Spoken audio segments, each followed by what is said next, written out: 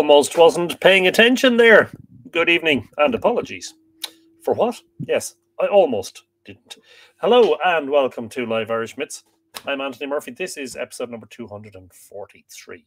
Tonight we are returning to P.W. Joyce's uh, Social History of Ancient Ireland, which so far, I'm not sure if you agree, I hope you do, has been a fabulous read just realized something. That's why I was distracted. I shared an image, a couple of images today on the Mythical Ireland community.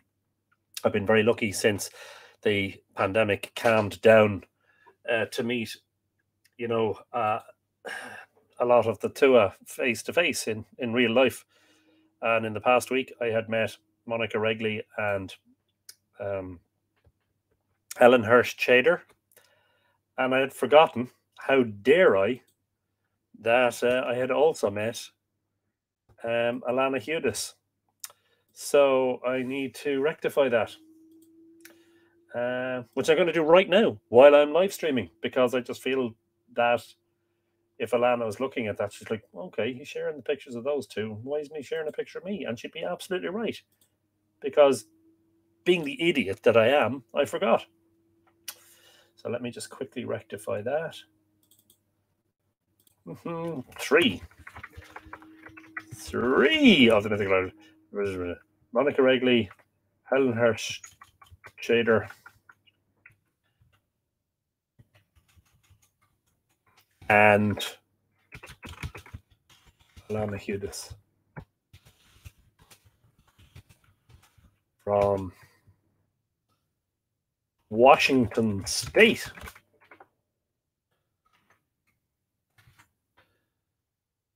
How could I have done that? Anyway, it's rectified now.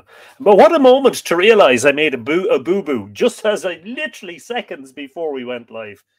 Uh, apparently, Anne Scott Doherty has her dram ready. Oh, nice.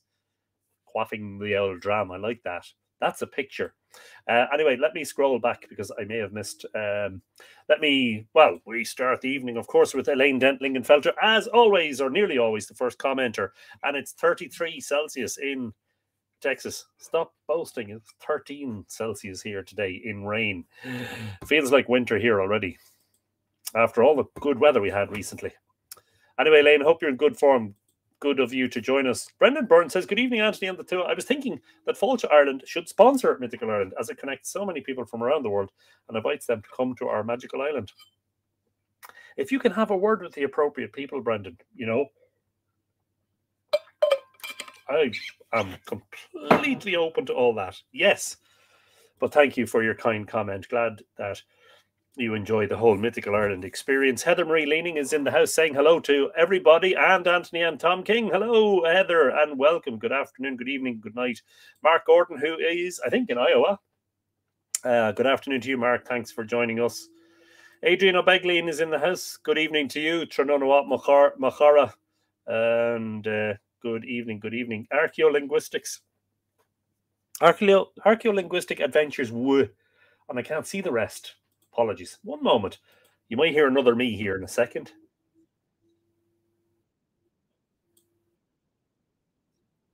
I'm going to shut him up. Um, can I see that comment on the live stream? Uh, archaeolinguistics, archaeolinguistic adventures with Nolan. Lawa from Pennsylvania. Well, a good afternoon to all our Pennsylvanian friends, our Philadelphian uh, and others, and Pittsburgh and all of that. Uh, good afternoon to you. Hope you're in good form. Thanks for joining us. Uh, JMCH Smith, who is Jan, says hello. Hello, Jan. Thanks for joining us again. Um, and uh, Anne Scott Doherty says, Not really. I have a modest glass of wine. Greetings, everyone. That's okay. Modest, yeah, everything in moderation, even moderation itself. Lily Shambles, good evening to you. Tronoa, Lily, welcome to the, I was going to say the shack. That's what we say in ham radio terminology. Welcome to the library and the studio. And McCallum says, Hello, Anton and the mighty Tuath. Hope everyone's having a lovely day. Cloudy, 13 Celsius this morning. Yeah, I know all about that. But now a beautiful sunny day, 22. I don't know anything about that. Enjoyed your post and photos at Tom's, etc. As always, looking forward to story time. Brilliant stuff. And good afternoon to you. Thanks for joining us. Peter Stewart is in the house. Good evening to you, Peter. Thanks for joining us. Anna L is also in the house. Good evening, Anna L. Thank you for. And Anna L is just down the road. Um, or Burgess 22 says, Hello, all from the Catskills in New York. Good afternoon to all our New Yorkian and indeed East, Coast friends. Uh, Tuesday Thompson says, Hello, so happy to have you back on my favorite day of the week. Yeah, I know, right? Uh, uh, by um, virtue of the fact that I was giving a talk in Drogheda here last night uh, on the first day of the Boyne Valley Trails September Walking Festival. And uh, just to mention, there are still tickets available for lots of the events. But I know you being uh, such wonderful Mythical Ireland followers, you're probably more interested in the two that I'm giving at the weekend. Maybe not. And that's being very presumptuous, I know. Uh, the Myths and Legends of the Hill of Tara on Saturday next, the 23rd of September at 2 p.m. Uh, and I will share the link to that where you can, if you're in Ireland or you're going to be around and you want to come along, this is where you get your tickets. And then on Sunday, what I would call the big one uh, in terms of distance, uh, the Myths and Legends of na We're going to walk from the na Visitor Centre over to Dowth, talk about Dowth. Then we're going to walk to Knowth and do a little tour of Knowth. And then we're going to walk to Newgrange and talk about Newgrange from the public road there. And um, it's an eight kilometre or five mile walk so uh, there are still tickets available for that right now, but they are selling fast. And I'm not lying, they are. So if you're coming, get your tickets now. Um, who else have we got? Paul Goran was uh, uh, he's out dog walking from Rath Shannanoth. Wow. Interesting place name. Paul, such a joy to see you. And thanks for joining us. Gosh, I forgot, says Elaine. I didn't know it last week when you were live, but our Cheyenne left hospital and is in therapy centre now. Brilliant stuff. And the best wishes to her, Elaine, from all of us.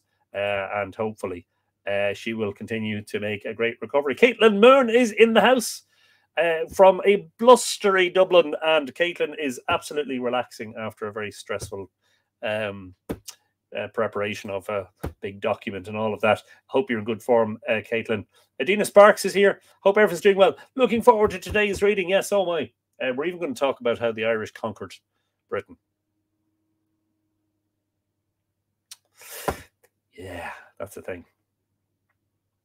Uh, Miss Tom King, uh, he's there, I know and I missed his comment. There we go. Hello there, Anthony and the mighty to a, a wintry feel to this evening in the Boyne Valley and rapidly fading light. A good fire going, and it's story time. Enjoy. Well, Tom and I had the wonderful pleasure of the company of the prehistory guys uh, on Sunday. I had the pleasure of them for two days, but we visited Tom's Forge on Sunday, having been at the Hill of Tara and in Fourknocks uh, we went to Tom's Forge, where we were given a stout and warm welcome, and everybody loved the uh, time at the Forge. Really fun time was had by all, and uh, I spent a, an excess of time. Uh, not that you could spend an, an excess of time with Michael Bott and Rupert Soskin and their lovely uh, entourage of uh, participants in their uh, Ireland tour, which was going on until today. I think it was eight or uh, nine or ten days, and uh, uh, they were all flying home today. Um, so, um, thank you for the memories and the wonderful time. It was just uh, so enjoyable and good fun, as you would expect. So, I would hope we were talking last night here. They were staying here in Drogheda in the D Hotel, and I was chatting with Michael and Rupert and one way or another, either they are going to have me on their show or I'm going to have them on my show. And we'll do a follow up and we'll talk about all the things that we learned. They learned that they learned in Ireland and all of the things that I learned from them. What a wonderful time, uh, really. What a privilege, uh, not just to be uh, guiding uh, visitors around the Boyne Valley, but to be guiding uh, the, the likes of the prehistory guys, good friends and long may that last. Uh, Susan Scott says it's cold and breezy in northwestern Connecticut, feeling like autumn. Do you know what? Copy and paste. Copy what you said and paste it because that's exactly how it's feeling here. No idea why I'm brandishing a uh, smartphone uh, little tripod. But anyway, I am. I'm brandishing it uh, in a very non-threatening manner. it, it's going to be my pointer. Yes, I'm going to. I'm going to point at you, all three of you. Irish Technical Thinker says greetings to a more. Good evening to you, uh, Marcus, and a. Sorry, the camera's in the way as always. Smallish gathering this evening, but that's because I upset things by giving a talk last night in Drogheda, which was called "What can mythology tell us about the Boyne monuments? And uh, lovely little gathering in the Punt pub here in Drogheda. And very uh, gracious thanks to uh, uh, uh, Boyne Valley Trails and to Love Drogheda and to Sarah Taff, the proprietor of the Punt. And Coda says hello, by the way. And yeah, I enjoyed it. And there was lots of questions and feedback afterwards, which is always great. So um, at some point, I'm planning to give a Zoom version of that talk, uh, and I will announce tickets. Uh, there'll probably be just a, something like a fiver ahead or something, but I'll do that one on Zoom uh, shortly so that you can all enjoy it. And I'll show the slides and I'll give you the same talk basically. John Main is in the house from Crete. Looking forward to another enlightening evening as ever. The only reason the evenings, the Live Irish Myths evenings are enlightening is because we are so regularly enlightened by the good Tuath who watch and contribute and add their uh, voices and expertise. So it's great. Caitlin says, It worked out for me. I was so busy getting my final PhD chapter done that I forgot it was Monday and missed my paleography class. And I thought, this too. Uh, not this, thankfully. Yeah, because we postponed. Same as last week. We did it on Tuesday last week as well. So uh, we are going to have I anything else to announce other than the Boyne Valley Trails? Myths and Legends of Tara on Saturday, and Myths and Legends of Brú na Bóinne on Sunday. Sunday is meeting at 1 p.m. at the Brú na Bóinne Visitor Centre. And uh, Tara is 2 p.m. at Tara on Saturday. That's next Saturday, the 23rd. So busy, busy, busy time, uh, which is good. Yes, indeed.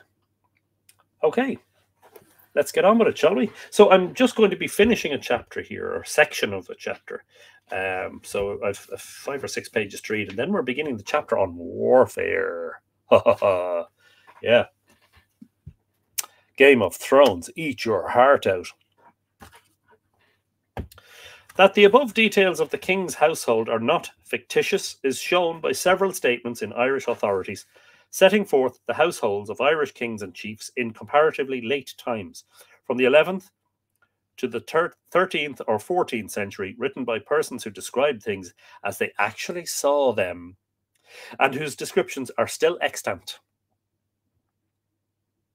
These set forth the various hereditary offices, similar to those stated above, for the older kings, though with differences in detail, as might be expected.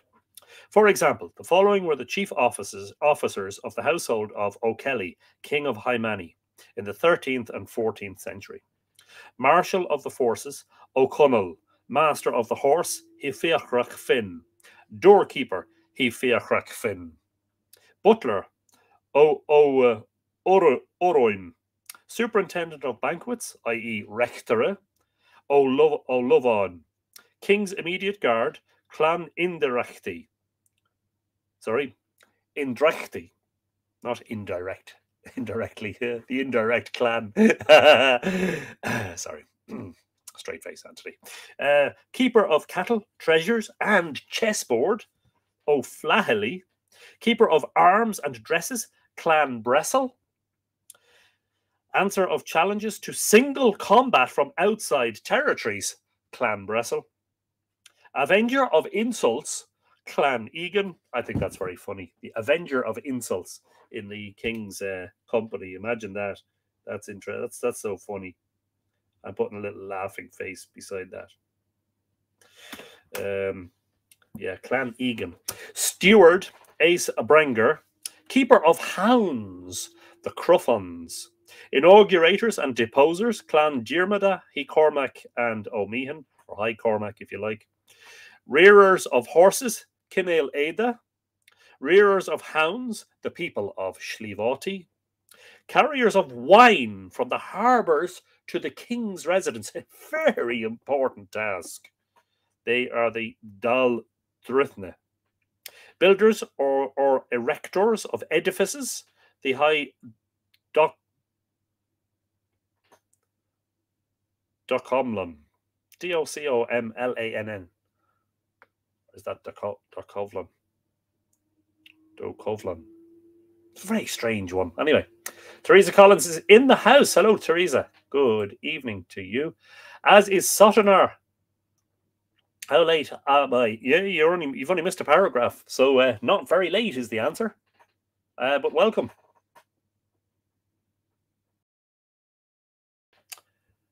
Uh, stewards of rents and tributes, the chiefs of the Cantred of Kala. Wow. Each chief of whatever grade kept a household after the manner of a king, but on a smaller scale, with the several offices in charge of the members of certain families. Don't start that, Anthony. Oh my God. Oh, apologies. In the Ulster Journal on Archaeology, uh, Volume 3, page 117, will be found a valuable paper on Gaelic domestics, compiled chiefly from Anglo Irish sources, in which this custom, as it existed in the 16th century, is very fully described. John Inman is saying hello from foggy Eureka in California. We used to be the, mo- the, the most in that category. Uh, McKinleyville, actually, 10 miles north. Good evening, good afternoon to you, should I say, John. It's just after midday there. It's just after 8 p.m. Uh, here.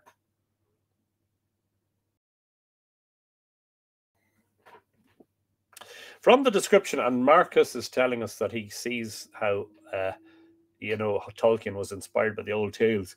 You can almost hear Tolkien within these writings now. Yeah, it's true, isn't it? Apologies for the yawning. Uh, that's I blame that on Rupert and Michael.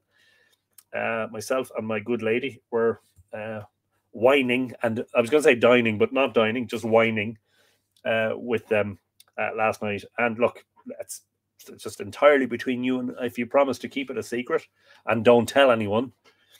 Um, we were, yeah, uh, let's just say the uh, the conversation went on until the early hours. Let's just put it that way. Paul McFeely is in the house. Good. Or in the library, even. And Paul, you're very welcome. Make yourself comfortable. All good on this side. Rohan was definitely the Celts and the Normans mixed. Oh, you can see that, can't you? Yeah. So I think somebody else should take over the reading and just let me go for a nap. Any volunteers? From the description given at page 43, it will be seen that there was a regular gradation of authority. The king of the Tuath owed allegiance to the king of the More Tuath, the king of the More Tuath to the provincial king, and the provincial king to the Ard Ri of all Ireland. But this was merely the theoretical arrangement. In the higher grades, it was very imperfectly carried out. The authority of the supreme monarch over the provincial kings was, in most cases, only nominal, like that of the early uh, over the minor kings of the Heptarchy. He was seldom able to enforce obedience, so that they were often almost or altogether independent of him. That's very important to note.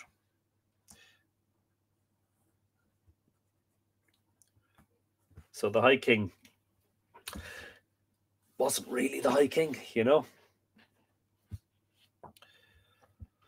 There never was a king of Ireland who really ruled the whole country. I always tell my visitors to Tara that.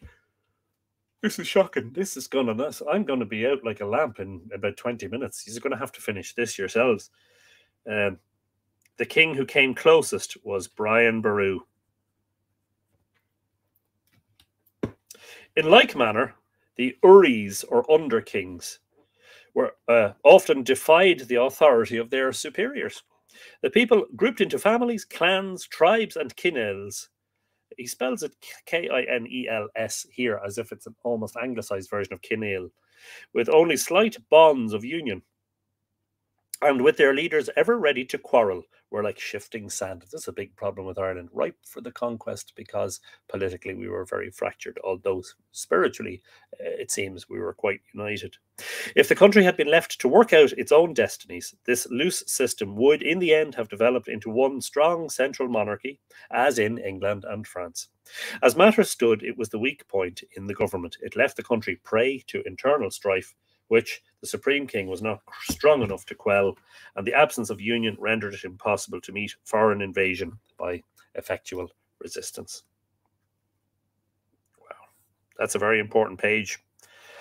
That is page 67 of this book, A Social History of Ancient Ireland, Volume 1, P.W. Joyce, published 1903. So, this is uh, the final uh, section of this chapter, which is called The List of Over Kings. According to the ancient bardic legends, five successive colonies arrived in Ireland many centuries before the Christian era. Of course, that is Gabála, and we have discussed that on many episodes. The Partholonians, the Nemedians, the Firvulugs, the Dedanans, and the Milesians. The bards say that government by monarchy began with the Firvulugs, whose first king and the first king of Ireland was Sláine. From the time of his ascension, uh, accession, even ascension. Beam me up, Scotty. From the time of his accession down to the birth of Christ, they allow 107 monarchs, of whom nine were Firvulugs, nine Dedanans, and 89 Milesians. The last king of the period before the Christian era was Nuadu, Nuadu, Nuada Necht, or Nuadu the White.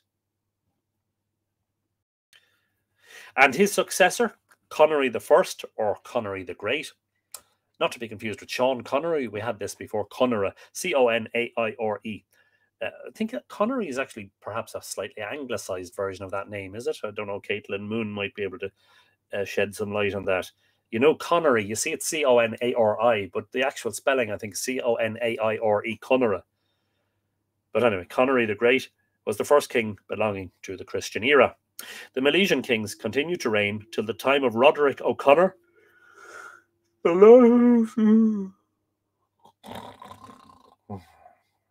The last over king of Ireland. I would not want to fall asleep on a live stream. I'd be afraid of what I might say in my sleep. Wouldn't that be funny? No. The last over king of Ireland who died in 1198. Of course, that was uh, uh, just after the arrival of Strongbow and friends, aka the Normans, and who, according to the Bardic accounts, was the 193rd monarch of Ireland. A full list of the monarchs who reigned from the beginning of the Christian era is given below. It's interesting, isn't it? Yeah. We'll give the list from the Christian era onwards, but not the ones before that. A few of those. Uh, Caitlin, remind me afterwards. I'll send you a picture of that page and send it on to you on a message if you want. A few of those before the Christian era, viz., those that figure most prominently in ancient Irish literature, are also given with their approximate dates. The dates down to the time of Lera, AD 428, he's the one who uh, was High King of Tara when St. Patrick allegedly, pardon me, when St. Patrick lit the Paschal fire at Slane, are given chiefly on the authority of O'Flaherty, who in his Ogygia has corrected the chronology of the bards and the Shanachis. And that's a, a work that I'm not familiar with, uh, the Ogygia. Um, so that's something I'll have to research and do work on. I've never heard it pronounced Connery in Saga. When I'm reading Old Irish out loud, my professor tells me to do my best Sean Connery impersonation. Uh, remember, the books fell on his head, Sean Connery, and he said, I can only blame myself. As to the records of the very early kings, they cannot, of course, be received as history, but neither should they be rejected altogether. It is as much of a fault to be too skeptical as it is too credulous. NB. Yes, indeed. On this subject of the Irish records of the early kings, Dr. Petrie, in his work on Tara, page 51, who was himself rather overcautious than overwise, makes the following judicious observations, quoting the distinguished Scottish Scotch historian Pinkerton, who was a determined, pardon me while I turn the page, who was a determined, oh, come on, a determined opponent of Ireland's early claims to distinction. Writing uh, of the reign of Tuathal the Legitimate, Tuathal Techtmar, King of Ireland in the second century, Dr. Petrie observes, and here follows a long quote. It is true indeed that the learned and judicious Sir James Ware has rejected, as of no certainty, the whole list of Irish kings anterior to the establishment of Christianity. But this overcautious rejection will have little weight now, even with the most judicious investigators. And in the opinion of Pinkerton, one of the most sceptical of modern antiquaries was at best rash. Mr. O'Connor remarks, says this writer, Pinkerton, that Tuathal's reign, AD 130 to 160, forms a new and certain epoch in the progress of Irish history. Foreigners may imagine that it is granting too much to the Irish to allow them lists of kings more ancient than those of any other country in modern Europe. But the singularly compact and remote situation of that island and its freedom from Roman conquest and from the concussions of the fall of the Roman Empire may infer this allowance not too much.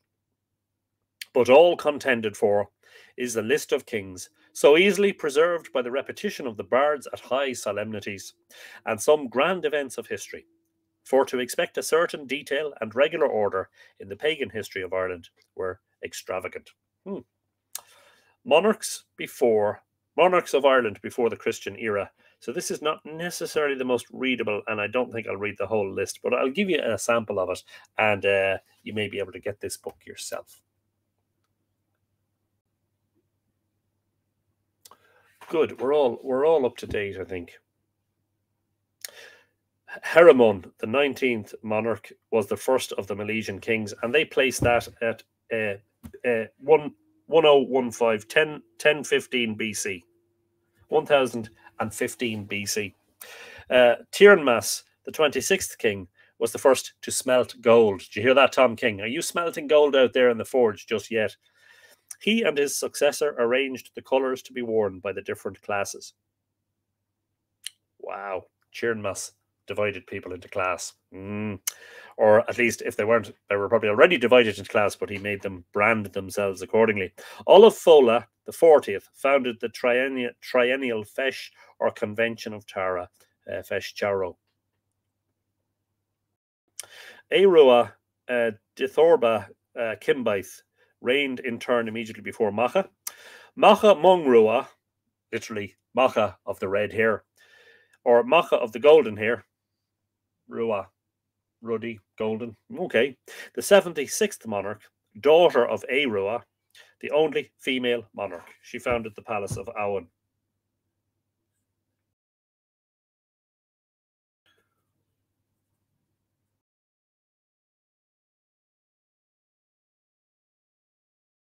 Pardon me while I make some marginalia.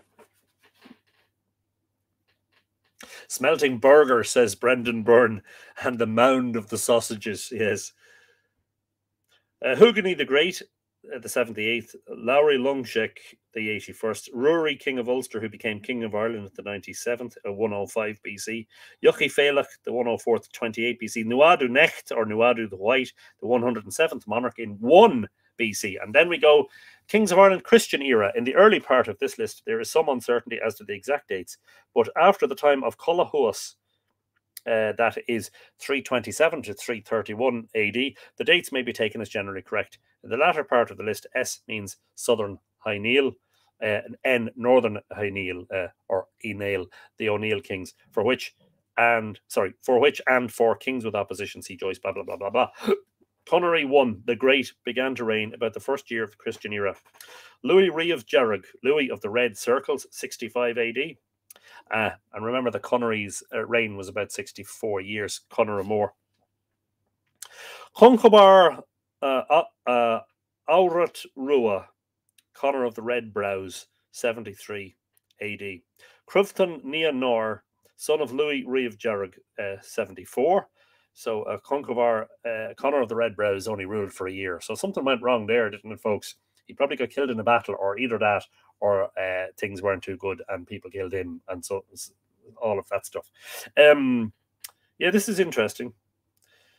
uh, to an extent. Carberry Kincat, uh, cat head, literally, Kincot, uh, 90 AD. Feradach Finn Fachnach, 95 AD. Featach Finn, 117 AD. Feachta Finola, 117. Uh, Ellen McConra, 126. Tuathal the Legitimate, 130. Tuathal Techtmar. Uh, Mal Macrochria, at 160, etc., etc. Let's have a look for Concade Kahak, the hundred fighter, is one of the uh, famous, really famous ones. 177 AD. Louis Macon, Louis son of Con, uh, actually, yes. So his brother Art Ainfer, the solitary, uh, Ainfar, literally one man, uh, son of Concade Kahak, ruled in 220, and then in 250 Louis Macon, uh, who's presumably another son of Con, uh, ruled uh, from 250. So, wow. So his brother ruled for 30 years and then he took over. Uh, Fergus uh, Dovedach from the Black Teeth. Uh, Dovdedach, should I say, of the Black Teeth, 253. Cormac MacArt, son of Art the Solitary. Uh, Cormac MacArt or Corm Cormac Ulfada, 254 AD. Remember, he's the one who converted to Christianity and lived his last years at uh, choked on a salmon bone. And when his companions tried to take his body to Brú na Bóinne, the Boyne River swelled up and wouldn't allow him to cross. Now, he converted to Christianity uh, in the third century AD, but Christianity didn't come to Ireland until the fifth. Figure that one out. Uh, Yochi uh, Gunneth, 277. Carberry Lificher, uh, literally Carberry of the Liffey, 279. Fiacha Sravtane 279, blah, blah, blah, blah, blah, Kelbid, Yochi Mugmadon, uh, or um, uh, as it is also rendered, Yochi uh, uh, Moivain uh, 358. And of course, he was the father of Niall of the Nine Hostages. And the famous story there is that his wife, uh, Mungand, uh, they had four sons together. And then Yochi Mugmadon uh, took a concubine who was Cairenn, C A I or E N N, and uh, she gave birth to Niall, and he, well, we, you know the rest. Crufton Moore, uh, anglicized Cruffon Moore, uh, 366. Niall of the Nine Hostages, 379 AD. Sorry, I forgot to highlight some of these. Um, apologies for sort of disturbing the flow here for a second. Uh, Concade Kahak. Tuathal Techtmar. Connery Moore, Conor Moore, Krista Neonor. Yeah, and then there's basically that's the beginning of the reign of the O'Neills. Dahi, Lera, Larry, uh, 428. And of course, he was the one, Lera McNeil, uh, Lera, son of Niall, who was in charge when St. Patrick lit the Paschal fire. And the list continues and continues and continues. And I'm not going to read the rest of it. Who was the the last sort of, as it were, legitimate king of uh, High King of uh, Ireland? Um, uh, Miles Shacklin the second, or Malachy the second, as it is uh, rendered anglicized. 1014. And of course, uh, he took over uh, from Brian Boru, uh, who was the king from 1002 until the Battle of Clontarf in 1014. While Shacklin the first was 980. And then there's kings with opposition. Uh, Donacha or Donna, son of Brian Boru, uh, uh, Mac uh, uh, of the race of Cahar, Cahar Moore, Turlough O'Brien of the Dalgas, Murkertuck or Murta O'Brien, etc., etc uh, and Donald O'Loughlin, Turlough O'Connor, and Murkertuck O'Loughlin, and the very last, Roderick O'Connor, 1161. And of course, he took over uh, just as uh, that uh, things were about to go pear shaped with the arrival of the Normans uh, eight, eight years after he began his reign, who were invited into Ireland at the behest of an Irish king, Dermot McMurrough. Josie Weatherford, hi, I'm late. But a wizard is never late, right? Correct, absolutely.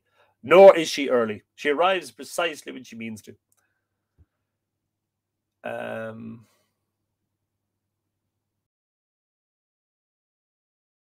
a 322 messenger asks Was Saint uh, Darerca a real historical character or just a myth?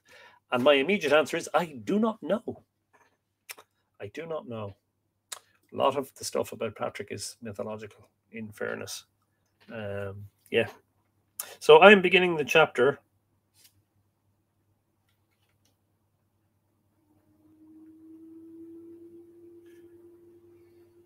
There seems to be a little bit of text missing here. Foreign conquests and colonizations. Yeah. Give me one second here now. One moment. Bear with me here. There's a little bit of text missing here uh, on this page, the way it was scanned and printed. This is a facsimile reprint. Um, just give me one moment until I see if I have a PDF version of this somewhere. What am I looking for? Um, uh, PW, what is it? PW Joyce, Social History of Ancient Ireland. Joyce, Joyce, of course. What have I got it filed under? Is it J for Joyce? No, it's not. Wouldn't be that simple, would it? Um, social history. No, it's not filed under social history of ancient Ireland either. Okay. Pardon me for this intermission and this distraction. Um, yeah, uh, my apologies. Uh,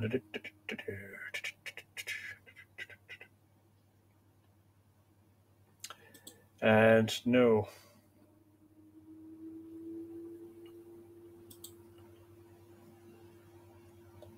Anybody else? Sandra Boothroyd is in the house. Just got home. Brilliant stuff, Sandra. You're very welcome.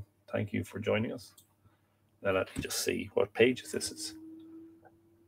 72. Okay, let's see if can scroll to 72 and see if there's a better version here. I'm just going to talk to myself here for a few moments. Which means I'm having a staff meeting. Isn't that right, Tom?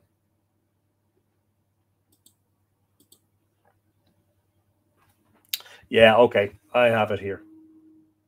Uh, give, bear with me just another moment. I do apologize for this very rude interruption, folks. It's not good enough, if you ask me. But anyway.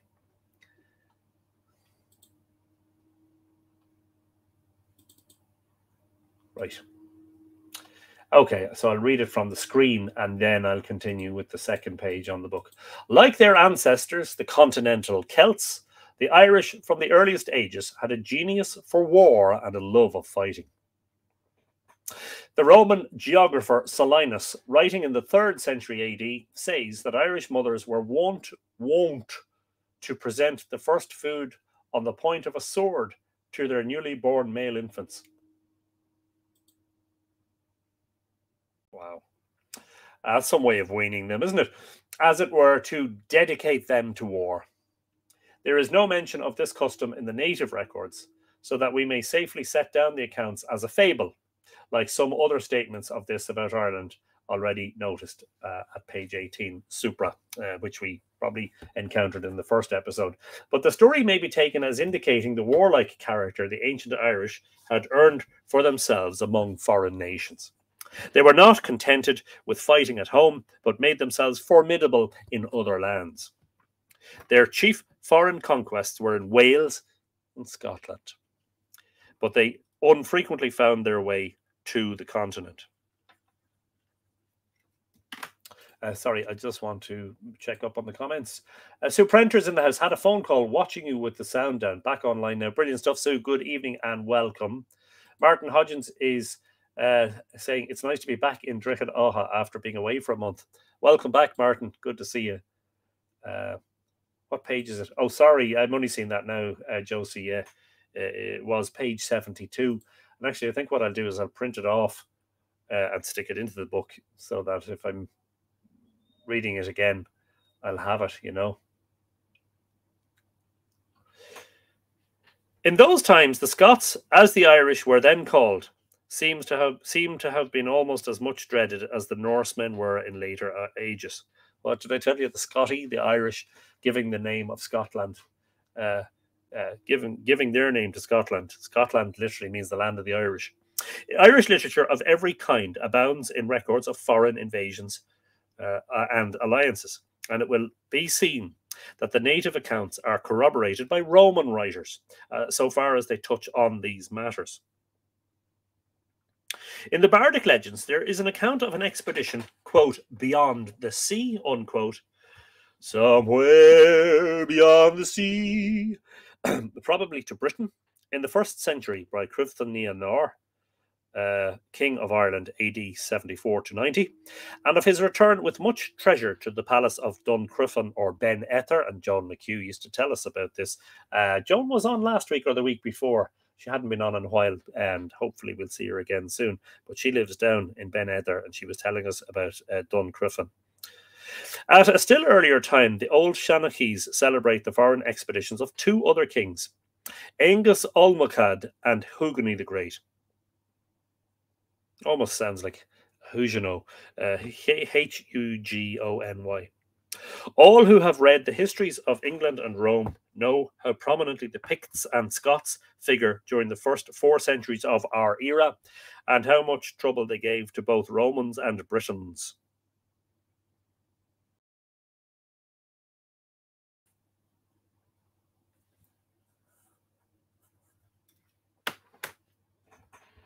The Picts were the people of Scotland, the Scots were the Irish Gaels. Quote, the Scots who afterwards, sorry, marginalia, the Scots who afterwards settled in what is now known as Scotland, at that time dwelt in Ireland. The invasions of the Picts and Scots are celebrated by many ancient writers, among them by Gildas in, in his history. As a protection against those these two tribes, the Romans at different intervals in the second and third centuries, built those great walls or ramparts from sea to sea between Britain and Alban, so well known in the history of those times, of which there are still considerable remains. For three or four centuries, the Irish continued their incursions to Britain and Scotland, sometimes fighting as invaders against the Picts, sometimes combining with them against Romans and Britons and as a consequence, there were several settlements of colonies from Ireland in Wales and Scotland. Wow, fascinating stuff.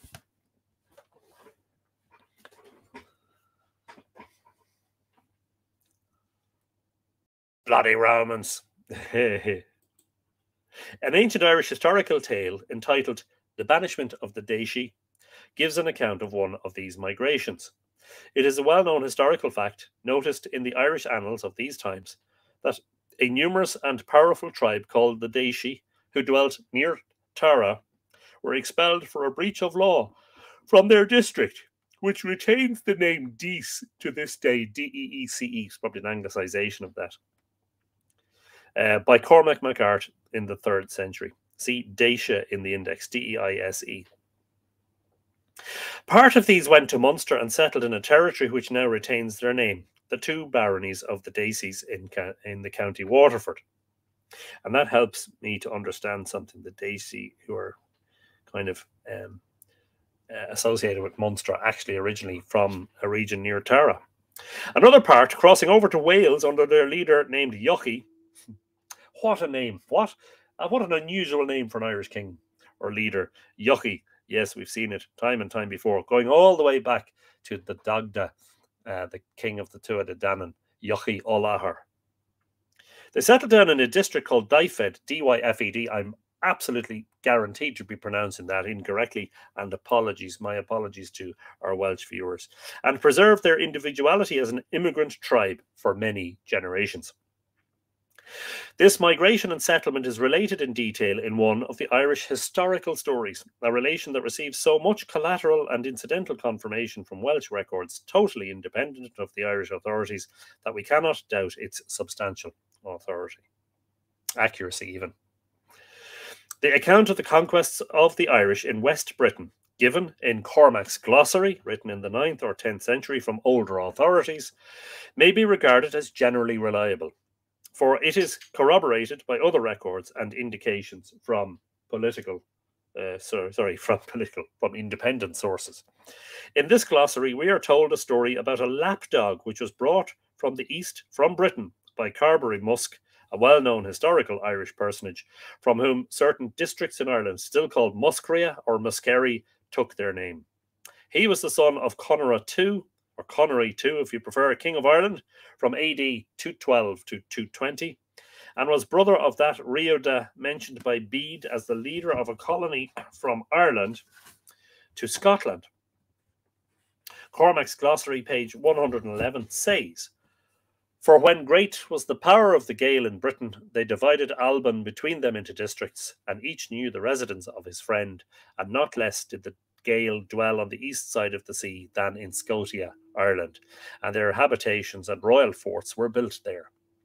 Whence is named Din Tradwy, i.e., the triple fossed fort of Criffin the Great, son of Fidach, son of uh, King of Ireland, and of Alban to the Ictian Sea, the English Channel, and hence also is uh, Glamaspear or Glastonbury of the Gael, i.e., a church on the border of the Ictian Sea. Thus, every Irish tribe divided the land on that side, for its, i.e., the tribe's property on that side was equal to that on the west, and they continued uh, in this power till long after the coming of Patrick.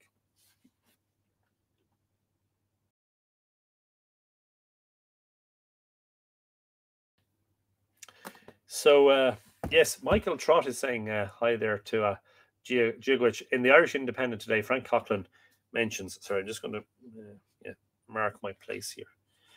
Uh, what was he saying? Um, the Irish Independent. Frank Coughlin mentions the later 12th century Giraldus Cambrensis wrote two hugely influential journals, which Norman, Norman Conquest by depicting the native Gael, Scoti, or Irish as savage or degenerate. Yeah, yeah. We had some, I think we had a couple at least of episodes about Giraldus Cambrensis uh, and his topographic uh, topographica. Um, so uh, if you missed those, uh, Michael, good to go back uh, and read over them. He was a propagandist, of course, um, and yeah, uh, painted the Irish in a less than favourable light.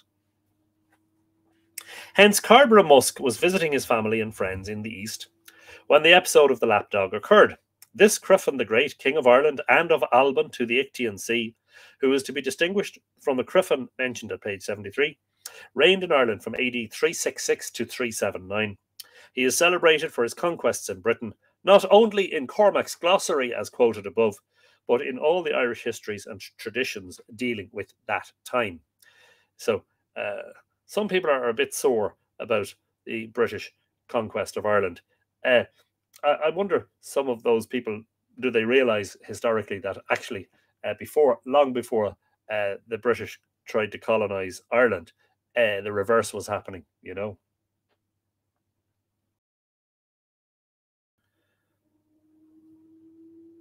His reign is almost exactly coincident with the command of the Roman gener general Theodosius, father of the Emperor Theodosius the Great, who, according to the Roman historians, uh, checked the career of the Gaels and their allies. The Irish accounts of Criffin's invasion of Britain are, in the main, corroborated by the Roman poet Claudian in those passages of his poem that celebrate the victories of Theodosius. While Criffin and his allies, the Picts, were vigorously pushing their conquests in Britain, the Saxons, who were at this time beginning their inroads, made themselves equally formidable. The continental, sorry, the continual attacks of the three tribes became at last so intolerable that the Roman government was forced to take defensive measures. In 367, the year after Criffin's accession, Theodosius was appointed to the military command of Britain, and after two active campaigns, he succeeded in delivering Britain for the time from the invaders. The following short passage, translated from Claudian's poem, pictures vividly the triumph achieved by Theodosius over the three hostile tribes. Quote, uh, the Orcades flowed with Saxon gore. Thule became warm with the blood of the Picts. The icy Ierne, i.e., Ireland, wept for her heaps of slaughtered Scots. In another passage uh, of the same poem, Claudian boasts that Theodosius chased the Irish from the British shores and pursued them out to sea. Though all this, no doubt, is in the main true history, we must make some allowance for the poet's natural tendency to exaggeration in his laudatory account of the great Roman general's exploits. History is written by the victor and sometimes embellished a little bit uh, in, in the effort.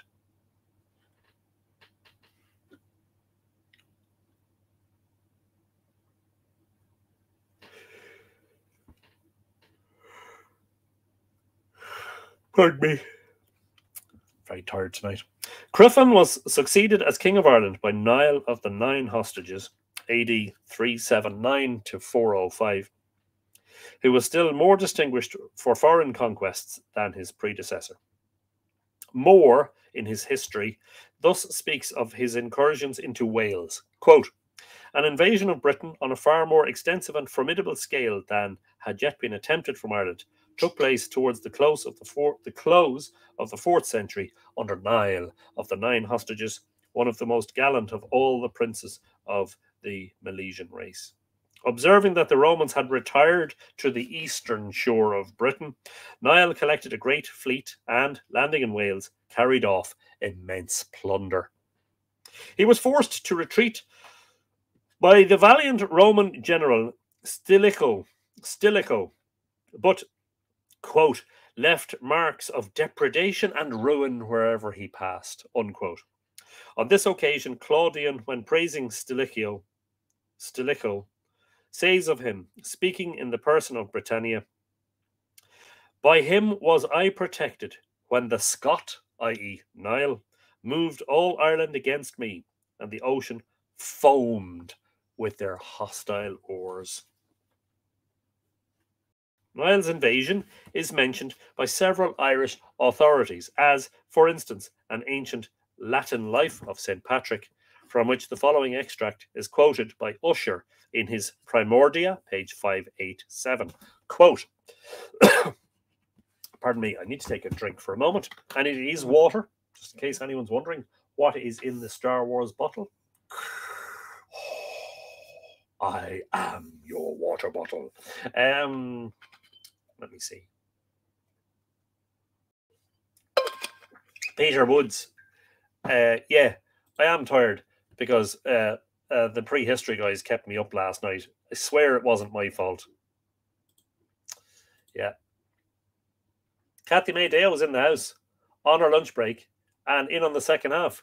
Good afternoon to you, Kathy May. Hello, and I hope you're well. Oh, excuse me. And uh, 322 Messenger is saying that uh, uh, who's, I think he's suggesting, was it the sister of St. Patrick? Died on the 22nd of March. And Paddy's Day, of course, is the 17th of March. Maybe some connection there with the vernal equinox, I think you were suggesting there. Yeah. Coda says hello again. The Scoti of Hibernia under their king Niall of the Nine Hostages, devastated several of the Roman provinces of Britain during the reign of Constant Constantius, the son of Constantine. They began their incursions on the north of Britain, from which, after a time, by their armies and fleets, they expelled the inhabitants and took possession of the country.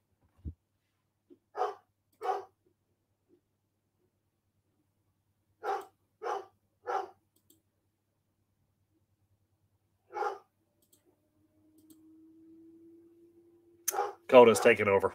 He's doing the reading. this old writer, however, is in error as to the time of Niall's invasion. Constantius had indeed, as we know from other sources, to proceed against the Picts and Scots. Con- Constantius had indeed, as we know from other sources, to proceed against the Picts and Scots. But he died in 361. That's sentence doesn't make sense, but anyway. And Niall's expedition did not take place in his reign, but in that of Theodosius the Great. The extensive scale of those terrible raids is strikingly indicated by no less an authority than St. Patrick, who, in his confession, speaking of the expedition, probably led by Niall, in which he himself was captured, says, quote, I was then about 16 years of age, being ignorant of the true God, I was brought captive into Ireland with so many thousand men, according as we had deserved. Wow. And that's from the tripartite life of Patrick. Yep. Linda Cosma says, Greetings all. Hello, Linda. You're very, very welcome. Dune. I haven't read the Dune books. Dune. Dune? Dune? Haven't read them, uh, Marcus. No. Um, Kathy May says the prehistory guys are so funny. They are. Uh, and very nice too. And very learned.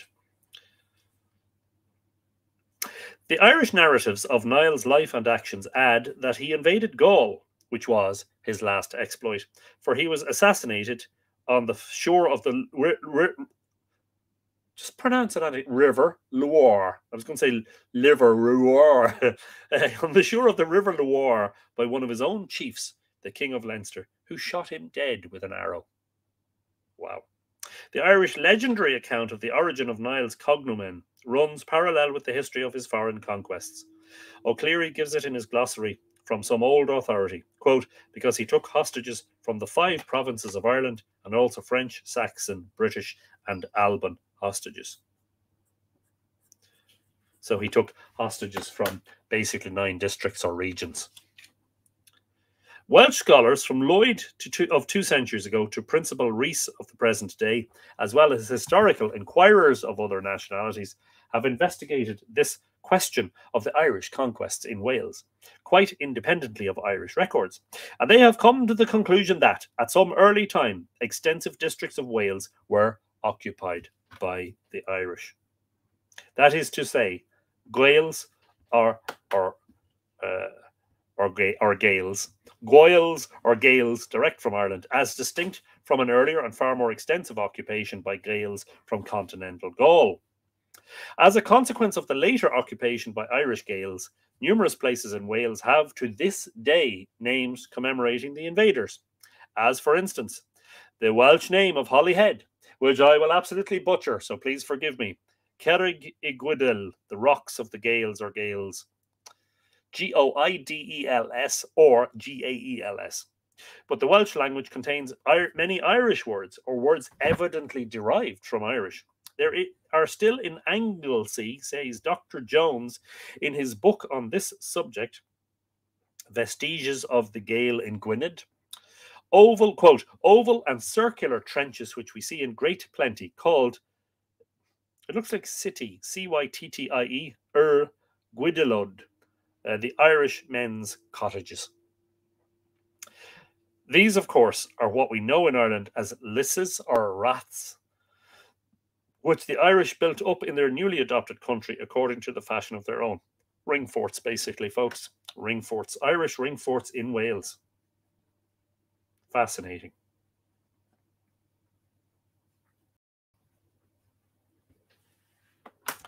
After a careful examination of all the evidence, Dr. Jones comes to the conclusion that the Gaels from Ireland once occupied the whole of Anglesey, Carnarvon, uh, uh, Merioneth, and Cardiganshire, and parts of Denbighshire, Montgomery, and Radnor. Still, another trace of the footsteps of the Irish Gael in Britain is the existence of a number of Oghams in Wales. For, so far as we know, Ogham was peculiar to the Irish. But besides all this, ancient Welsh literature, history, annals, tales, legends, like that of Ireland, abounds in references to invasions of Wales and other parts of Britain by Irishmen. I'm fascinated by all this. Really fascinating.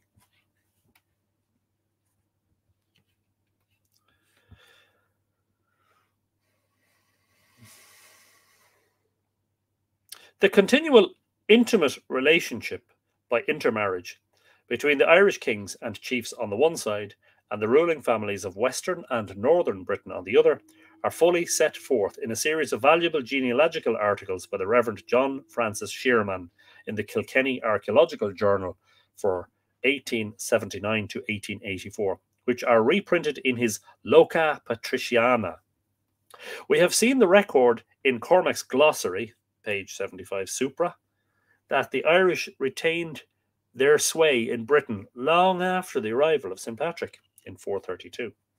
Of this, there is a curious incidental corroboration in a passage in the story of Borova. When Brandulf, the powerful king of Leinster, in the end of the 6th century, heard that Prince Cumascach was coming to Leinster on a youthful free circuit about AD 597, he did not wish to receive, quote, uh, this is part of a quote, uh, no, it's not part of a quote. Apologies. He did not wish to receive him personally, knowing his licentious character. Quote, let a messenger, said he, uh, unquote, said he, quote, again, be sent to them, prince and retinue, and let them be told that I have gone to into Britain uh, to levy rent and tribute, unquote. After the period, sorry, lots of mistakes tonight because I'm tired. About the period of the series of expeditions to Wales, the Irish also mastered the Isle of Man, and Irish literature abounds with references to the constant intercourse kept up by the parent people with those of their little insular colony. Uh, though the Norsemen wrested the sovereignty of the island from them in the 9th century, they did not succeed in displacing either the Gaelic people or their language. The best possible proof of the Irish colonization and complete and continued occupation of the island is the fact that the Manx language is merely a dialect of Irish, spelled phonetically but otherwise very little altered. There are still also to be seen all over the island Irish buildings and monuments, mixed up, however, with many of Norse origin, and the great majority of both the place names and the native family names are Gaelic. Absolutely fascinating stuff. It is curious that the idea of having a sort of claim to the Isle of Man still lingered among the Irish at the end of the 11th century, when the Danes held it.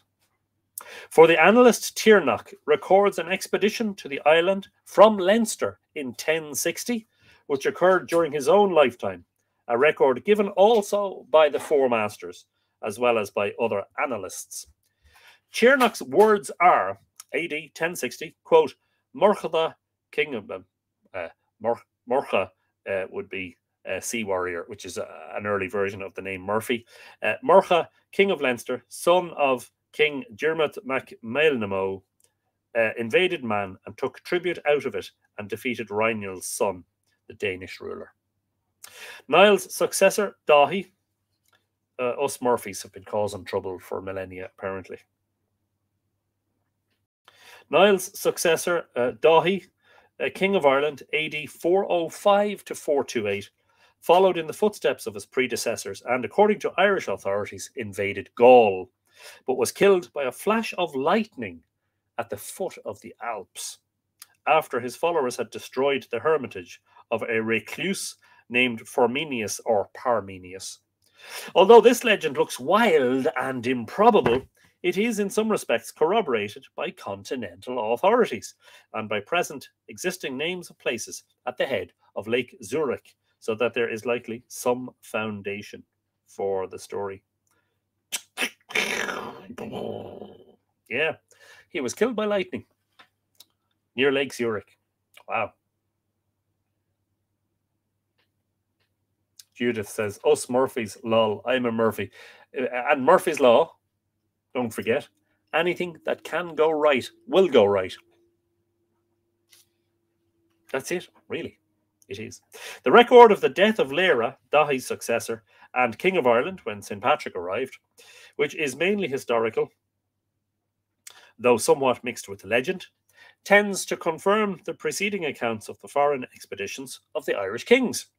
It had been prophesied for by sorry, it had been prophesied for this king by some old druid that he was destined to be killed between Erin and Alban, and accordingly, in order to circumvent the prophecy, he remained at home. Clever, huh? And never attempted to imitate the foreign expeditions of his predecessors. Very wise. But on one occasion, he invaded Leinster in violation of a solemn oath uh, sworn by the elements, whereupon, says the legend, he was killed by the sun and wind at the side of a little river named Cass at a marshy spot situated between two hills named Erin and Alban. I kid you not, uh, so that the prophecy was fulfilled. That sounds like an Irish story if ever I've heard one. We will now go back in point of time to sketch the Irish colonization of North Britain, the accounts of which, however, are, are a good deal mixed with those of Welsh settlements. We've about two more pages to read, and then we'll call it a night for this week.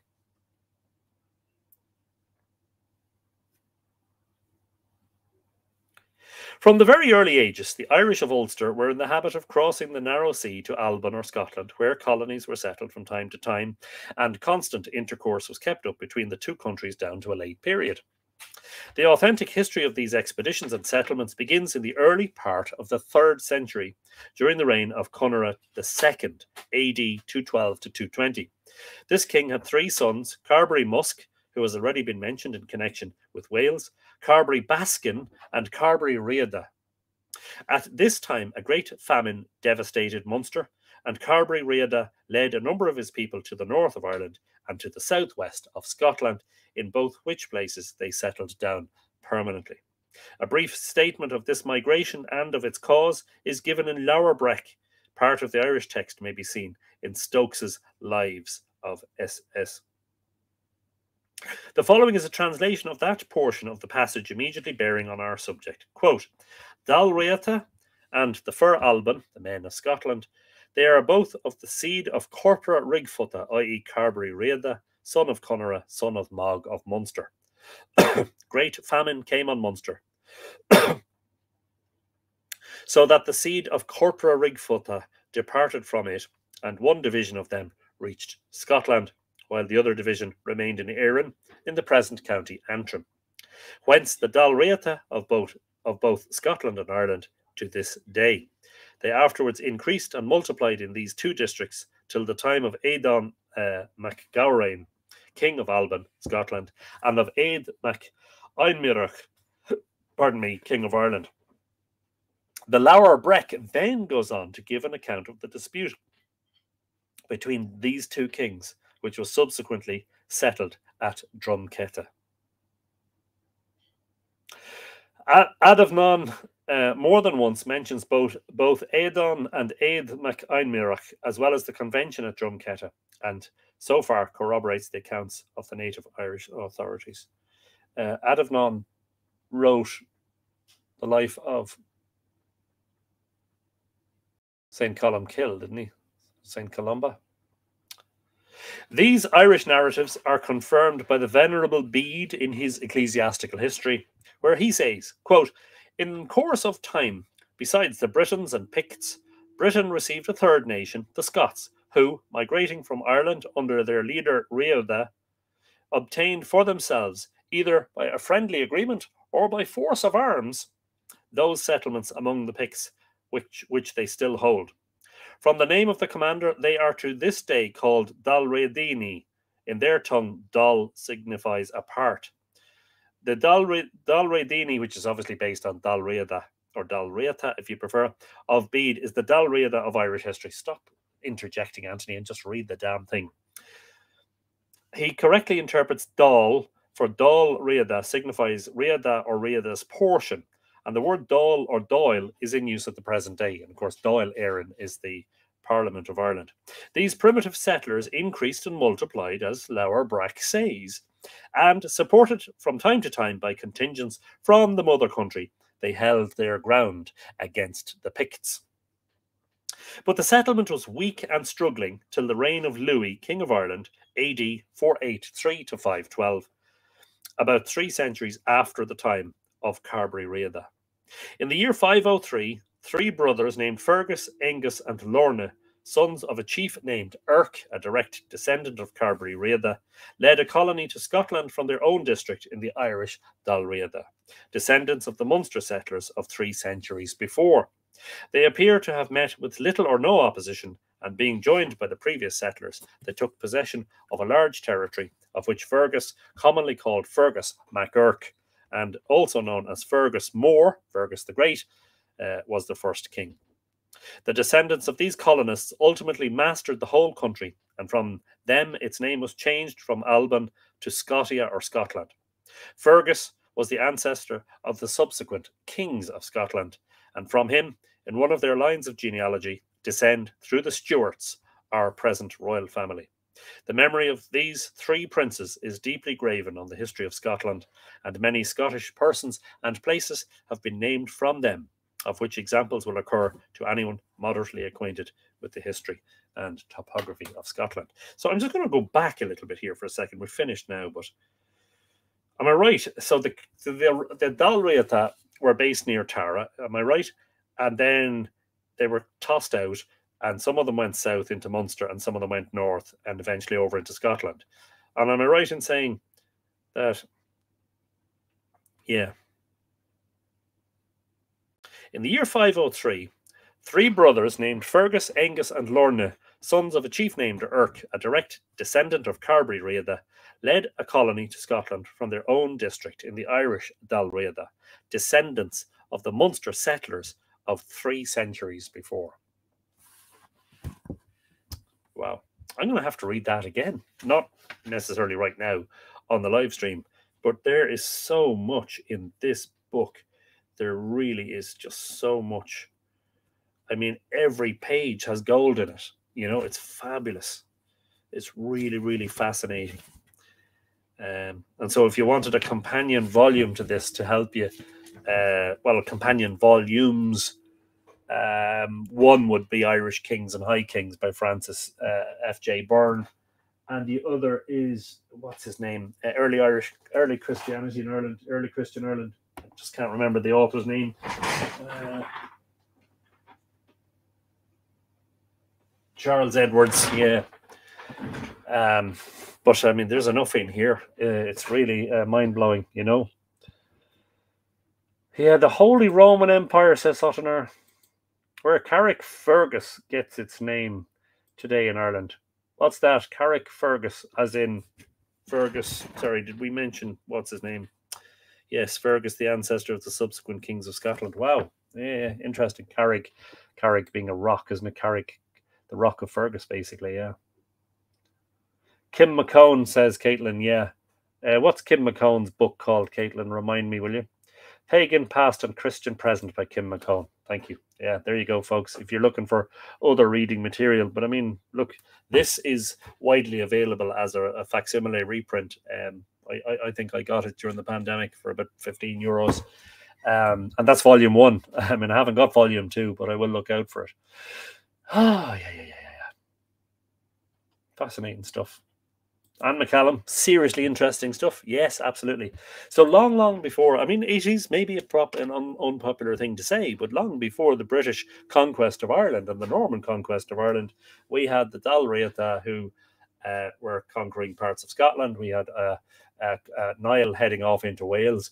Um, and we had uh, even conquests of Gaul or attempted conquests of Gaul. Fascinating stuff, you know. and Fergus, of course, being the Irish ancestor of the Scottish kings. Mm. I didn't realize that connection to the Stuarts, but anyway, that's something I'll have to go back into because it's just too much. It's too much to absorb right now, and of course, I need to, as Elaine says, get some sleep. Yes, absolutely. Um, yeah, all very interesting. I'm really loving this. I'm, I'm just thinking that, you know, I've made so many margin notes and, yeah, you know, uh, scribbles uh, that it's quite obvious to me that this is just one of these brilliant works that um, is is mind opening. Now, of course, bear in mind that the reason I'm recommending the likes of Francis Byrne and uh, Caitlin uh, Kim McCone and Charles Edwards is that's contemporary work. Um, you know, uh, Joyce was writing in 1903 or published in 1903.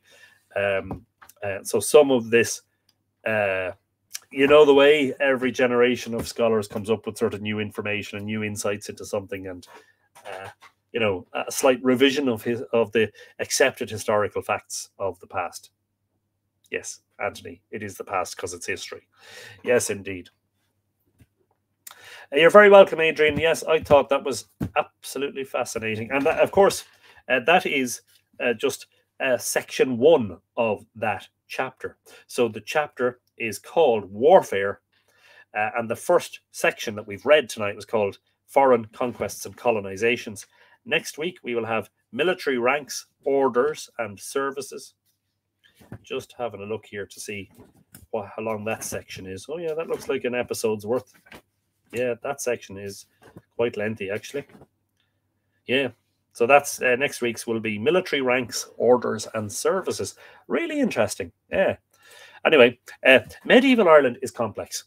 If you want to study uh, medieval Ireland, uh, be prepared for the long haul. It's complex and there's tons of sources, not least, say, the Annals and uh, Cormac's Glossary and the Lives of the Saints and all of that. Uh, there's a ton of, of research and depth uh, diving to be done uh, to get a real handle on it. A very good place to start if you're interested in medieval Ireland is Matthew Stout's book, uh, Early Medieval Ireland, which chronicles the history of Ireland from the arrival of, I think it's from the arrival of St. Patrick until the arrival of the Normans. Uh, um,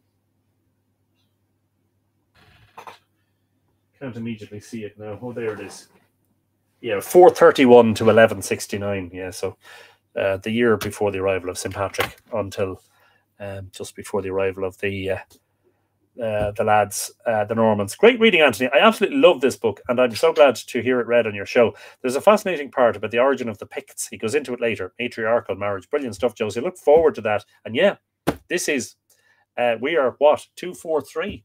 We're we're, we're almost uh, at 250 episodes, and still finding you know, really riveting material. You know, it's not getting boring at all. You know. Uh, thanks, uh, Marcus. I hope you're. Uh, I hope you have a great week, and indeed to all of you. Um, I hope you have a fabulous week, and uh, hope to see some of you at the uh, Boyne Valley Trails September Walking Festival events this week. Uh, in particular, of course, the Mythical Ireland led ones, which are the Myths and Legends of Tara on Saturday at two o'clock, and the Myths and Legends of na starting at one o'clock on Sunday.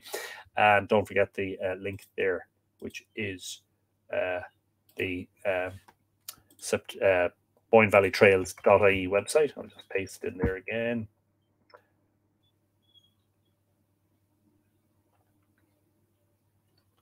Yeah. So have a fabulous week, everybody.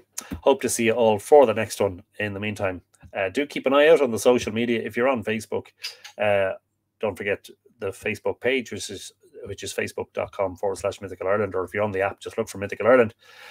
And of course, the Facebook, uh, the uh, Mythical Ireland community on Facebook. If you're on YouTube, don't forget to subscribe to the channel. And please, as always, do uh, consider uh, supporting Mythical Ireland by becoming a patron. Uh, Tom King says a lovely episode. So many kings. I'm in great company. Tom King.